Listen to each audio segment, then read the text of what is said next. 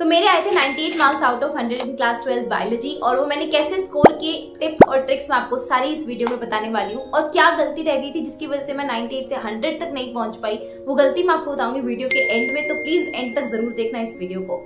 तो my name is Ekta Soni and चलिए शुरू करते हैं टिप्स और ट्रिक्स की, क्योंकि आपका भी बोर्ड एग्ज़ाम अब आने वाला है क्लास ट्वेल्थ बायोलॉजी का तो मैं चाहती हूँ कि आप वो सारी टिप्स और ट्रिक्स फॉलो करो ताकि एटलीस्ट आप 90 अबाउ तो मार्क्स स्कोर कर ही पाओ, ठीक है? एक जो सबसे इंपॉर्टेंट चीज़ जो मैंने फॉलो की थी, वो थी एनसीआरटी स्ट्रिक्टली फॉलो करी थी, बिल्कुल स्ट्रिक्टली अब ऐसा नहीं कि नॉर्मल बच्चों की तरह मैं भटकी नहीं थी एनसीआरटी से।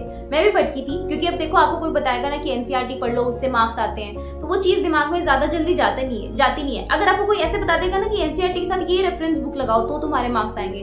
तो बस वो दिमाग में हो जाता है। बस सेम चीज़ ऐसा ही हुआ था मेरे साथ में भी। मेरे को ना ऑब्सेशन था क्लास ट्वेल्थ के अंदर, कि मेरे को तो टॉप करना है मार्क्स लाने मार्क्स से कुछ अलग ही ऑब्सेशन था, कि इसके लिए चाहे कुछ भी पढ़ना पड़े, कितना भी पढ़ना पड़े मैं कर लूँगी, ठीक है? अब एनसीआरटी तो क्योंकि मैं पढ़ी रही थी साथ साथ में मैं भटक गई थी, जो रेफरेंस बुक आती ना, उनके पीछे, ठीक है? अभी मेरे मेरे को अभी भी याद है, मेरी एक फ्रेंड थी, उस फ्रेंड को मैंने बोला, उसके पास दिनेश पब्लिकेशन की बुक थी बायोलॉजी के लिए बहुत फ़ेमस बुक है। तो मैंने ना उससे वो वाली बुक मंगवा ली, मैंने कहा, तू मेरे को दे दे।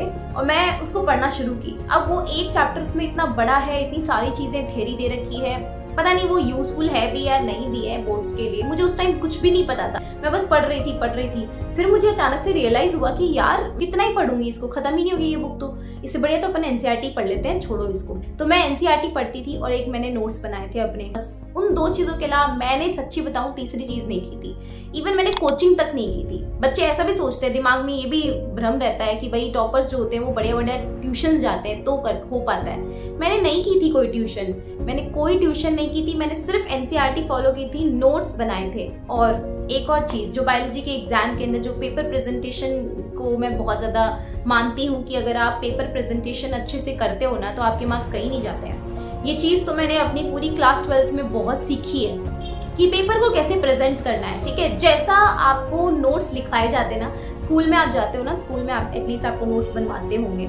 तो स्कूल में जैसे नोट्स बनवाते हैं या कोचिंग में जहाँ जहाँ पे भी आपको जैसे भी नोट्स बनवाते हैं, जैसे जैसे लिखवाते हैं ना, आप वैसा का वैसा लिख के आते हो। बिल्कुल एज इट इज़ वैसे ही उसी तरीके से पेपर प्रेजेंट करके आते हो ना।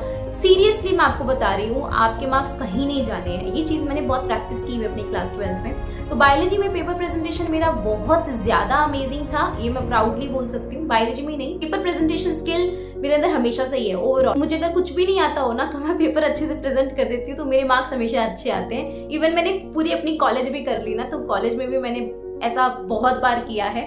जहाँ पर ना मेरे को कुछ भी नहीं आता कभी कभी तो कि यार ये सब्जेक्ट है, ये टॉपिक है, मेरे को ये क्वेश्चन भी कुछ नहीं आता है। तो मैं पेपर प्रेजेंट अच्छे से कर देती हूँ तो मेरे मार्क्स आ जाते हैं। तो पेपर प्रेजेंटेशन पे अलग से मैंने एक वीडियो बना दी है, वो देख लेना। डिस्क्रिप्शन में लिंक दे दूँगी। बायोलॉजी में ना, एक और चीज़ जो सबसे इंपॉर्टेंट होती है ना, वो होती है अट्रैक्शन आपके डायग्राम का। आपके डायग्राम से कितना आपके एग्जामिनर अट्रैक्ट हो पाता है। और मेरे डायग्राम अच्छे होते थे सीरियसली मतलब मैं इतना भी वो ज़्यादा अच्छी ड्राइंग नहीं करती हूँ सीरियसली बता रही हूँ. मैं बहुत अच्छी ड्राइंग नहीं करती हूँ, जितना मुझसे हो पाता है. क्लियरली बस एग्जामिनर के दिमाग में छप जानी चाहिए चीज़ जो हमने बोली है. बस दैट्स इट अपन को इतना ही रिक्वायर्ड है, हमें क्यों पेंटर बनना है? क्यों हम बैठ के उसको स्केचिंग कर रहे हैं, बढ़िया कर रहे हैं? क्यों कर रहे हैं हम? ठीक है? तो आप ना बस एकदम क्लियर क्लियर डायग्राम जो बढ़िया सा पेंसिल से पहले ना ऐसे एकदम रफ डायग्राम बनाओ, बिल्कुल.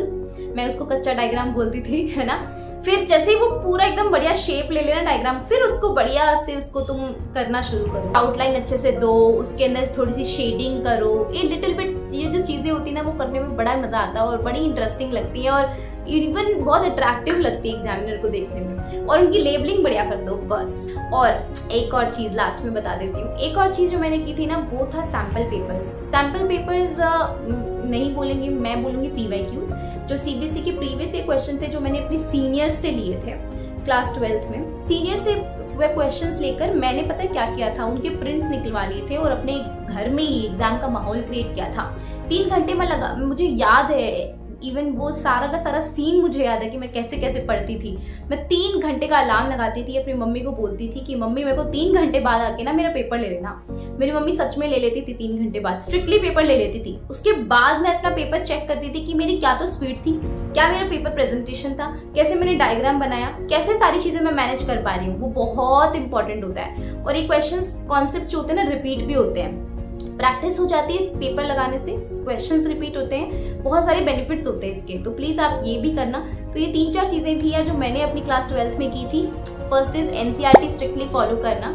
नंबर टू टिप इसकी सैंपल पेपर्स या फिर प्रीवियस ईयर क्वेश्चन ये तो एटलीस्ट लगा के जाना दो या तीन, ठीक है? वो बढ़िया आपको देगा। और तीसरी चीज़ कि आप अपने जो डायग्राम्स है वो अच्छे से लेबल्ड डायग्राम प्लीज़ करके जाना ठीक है? और नोट्स जो आपके पास पड़े हैं वो करके जाना। बस ये तीन चार टिप्स है जो आप फॉलो करेंगे तो आपके मार्क्स बहुत अच्छे आएँगे। All the best for your papers and channel को सब्सक्राइब करना।